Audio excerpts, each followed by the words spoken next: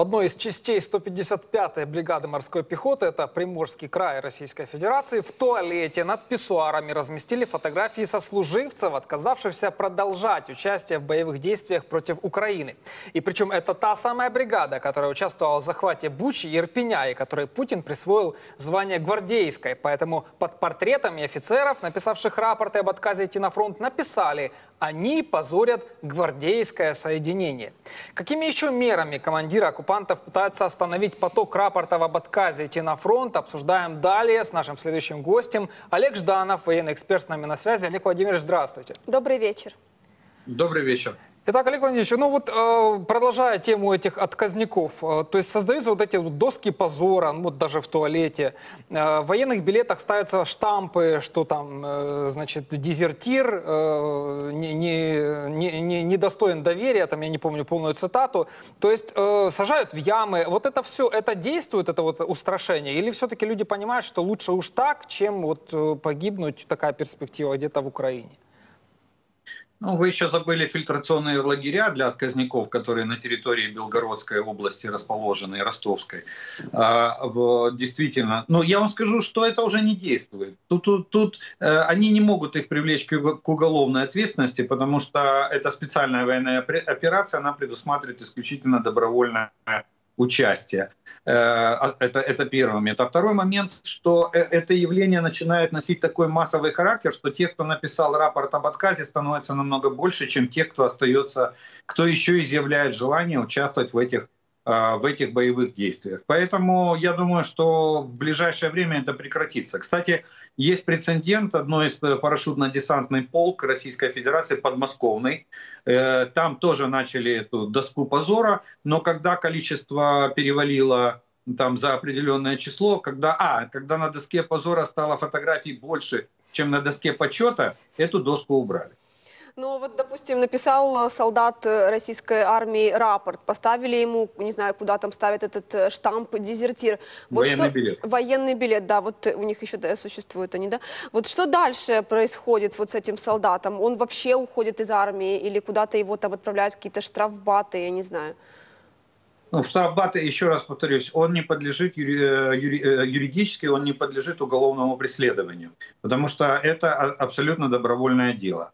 Э, его должны отправить в пункт постоянной дислокации его воинской части.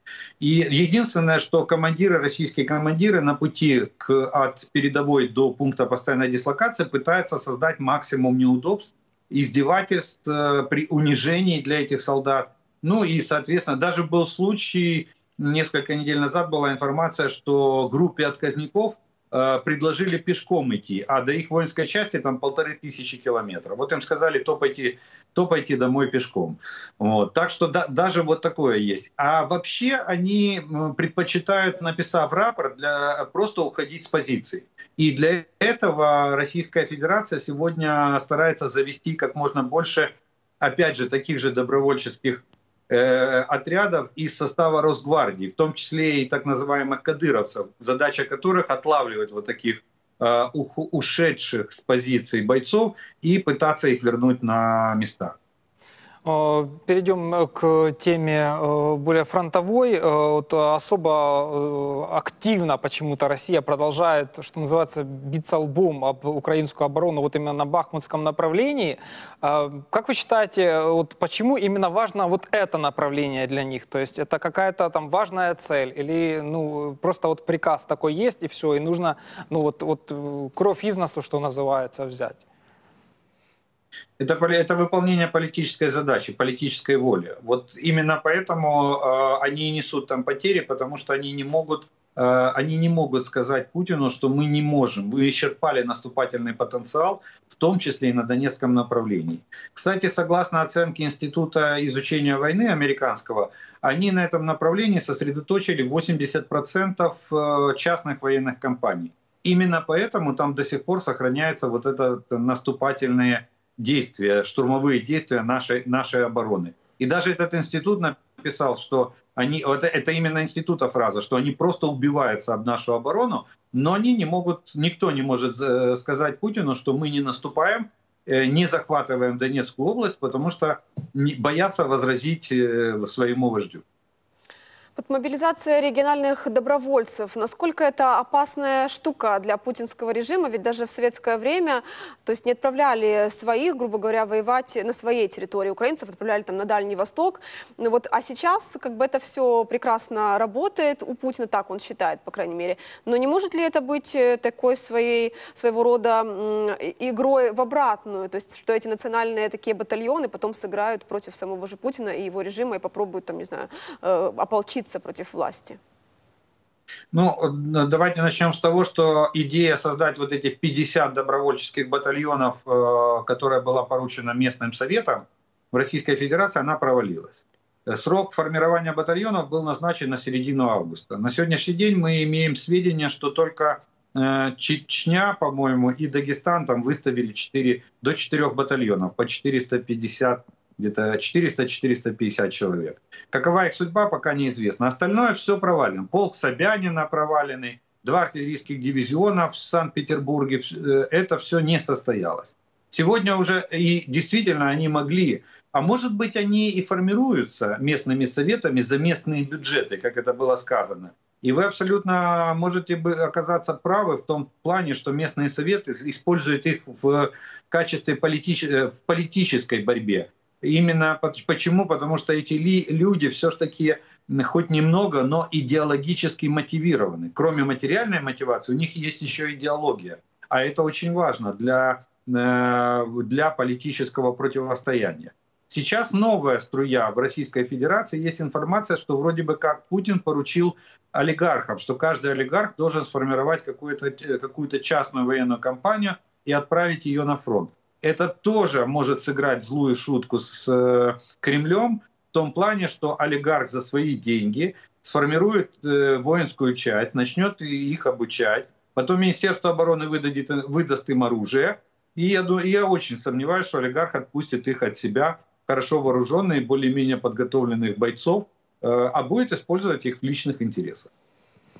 Олег Владимирович, есть вот такая информация из источников э, среди военного командования Российской Федерации, что планируется нанести массированный ракетный удар по э, дамбам, значит, Кременчуге и Каменском, э, повредить Днепрогэсовскую дамбу, поскольку разрушить ее не удастся никак, она строилась очень сильно, с расчета даже там на ядерную войну, и таким образом создать там большой поток воды, который вот добьет как раз эту Днепрогэсовскую дамбу, и это приведет ведет все к затоплению там, большой части э, левобережной Украины, поскольку он более пологий. И таким образом вот создать такую, опять-таки, ну, не знаю, там не техногенную катастрофу, но какую-то вот э, нанести большой-большой вред. В принципе, э, Криворожскую дамбу, они уже на ней потренировали, что называется. Да, к счастью, последствия не такие серьезные оказались, но и э, там э, Карачуновское водохранилище это не настолько э, серьезный э, водяной объект, как, например, та же речка Днепр, там и там тоже Кременчугское водохранилище и так далее. Как вы считаете, имеет право на существование такая, или она абсолютно бредовая идея? Ну, а, давайте просто немножко подправим. Давайте уберем слово массированный ракетный удар. Россия сегодня уже не способна наносить массированные ракетные удары. Групповые, да, я согласен, они способны.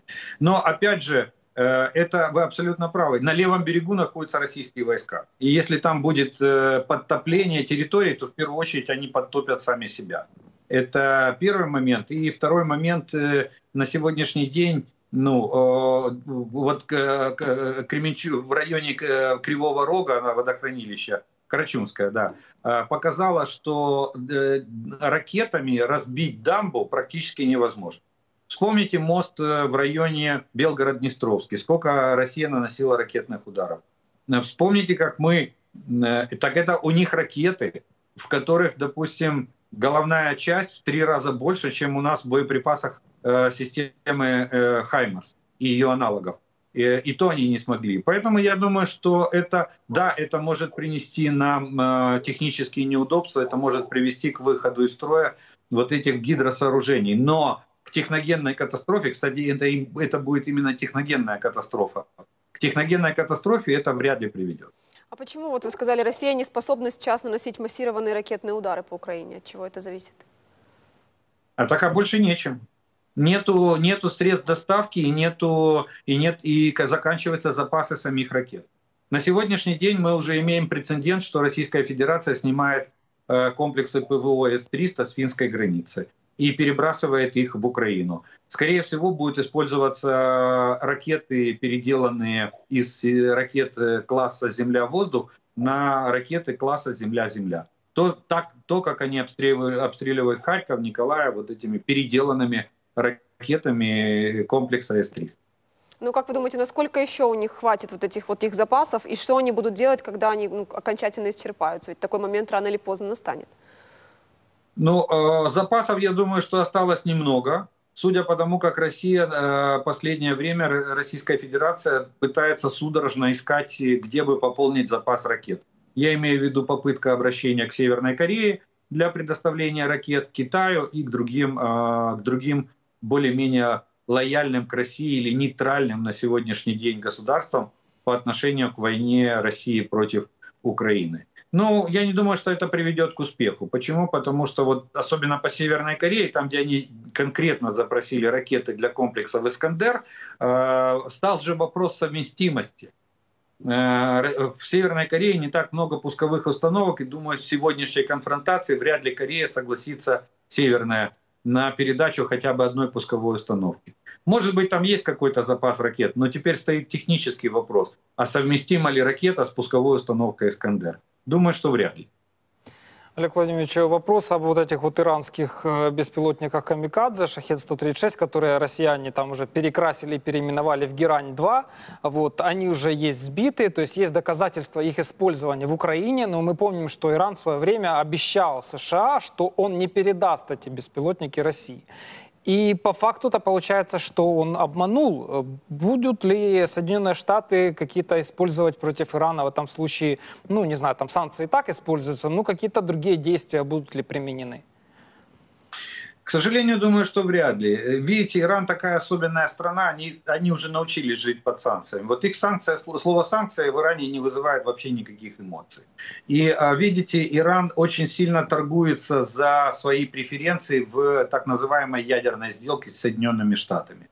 Поэтому думаю, что а, они поступили ну, э, просто политикой двойных стандартов. Одним сказали, что мы не продавали, а другим действительно продали. Э, я думаю, что партия не такая уже большая. Там была информация, что несколько десятков штук они продали. И э, Соединенные Штаты просто дадут нам, кстати, в, очередном пакете помощи, который оглашен э, администрацией Белого дома на 600 миллионов долларов, там именно есть пункт средства борьбы с беспилотниками. Я думаю, просто нас усилят в плане средств борьбы с этими беспилотниками.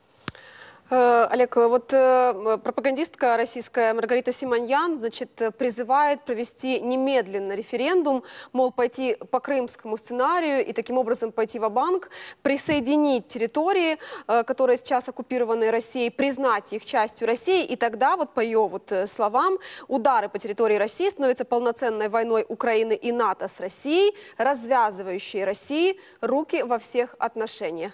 Как вы думаете, решится ли Россия вот на такие такие молниеносные референдумы, и сможет ли она их провести в ближайшее время? Ведь дата, которая ближайшая заявлялась, это 4 ноября, это еще ну, месяц больше. Э, думаю, вряд ли они решатся. Почему? Потому что ну, это даже нельзя будет легитимизировать среди населения Российской Федерации. Референдум в период проведения активных боевых действий, ну, это не референдум, это будет посмешище. Поэтому в это никто не поверит. И я думаю, что э, в Кремле это прекрасно понимают, и именно по этой причине не, не хотят э, усугублять картину. Хотя есть еще один фактор. На, я больше чем уверен, что за еще одну попытку аннексии территории Украины Российская Федерация может получить еще больший пакет санкций. Э, они от этих санкций уже начинают э, довольно сильно страдать. А еще, и э, вы смотрите, Россия в последнее время пытается искать любые пути, любой шантаж для того, чтобы снять санкции с Российской Федерации, хоть какие-нибудь санкции снять. Поэтому я думаю, что вряд ли в Кремле э, прислушаются к пропагандистке Симонян для того, чтобы э, усугубить, еще больше усугубить ситуацию, внешнеполитическую и экономическую ситуацию вокруг Российской Федерации. Ну просто очевидно, это же не только личное ее мнение, плюс э, международное право для России, по-моему, неизвестный такой термин. Нет, ну, вы знаете, вот я для себя сделал такой э, шаг э, после просмотра видео с э, Пригожиным, где он открыто призывает ехать и убивать, причем не самых лучших представителей российского общества, а именно заключенных. Э, Я для себя просто э, Россию вычеркнул из э, списка государств, где есть верховенство права правового государства. Я не считаю Россию правовым государством. Поэтому какие бы они действия ни делали, надо просто на это не обращать внимания и выполнять э, свои задачи, поставленные э, на, нами, э, сами перед собой в этой войне. А именно восстанавливать суверенитет и территориальную целостность нашей страны силовым путем, в первую очередь силовым путем. Получится, будет дипломатически, если будет с кем разговаривать в Российской Федерации. Потому что сегодня там не с кем разговаривать. Спасибо, Олег Владимирович. Олег Жданов, э, военный эксперт, был с нами на связи. Мы обсуждали ситуацию на фронте и с вооружением, и э, все, что касается войны Украины в Украине, которую ведет Россия. Спасибо вам, Олег Владимирович. Всего доброго. До свидания.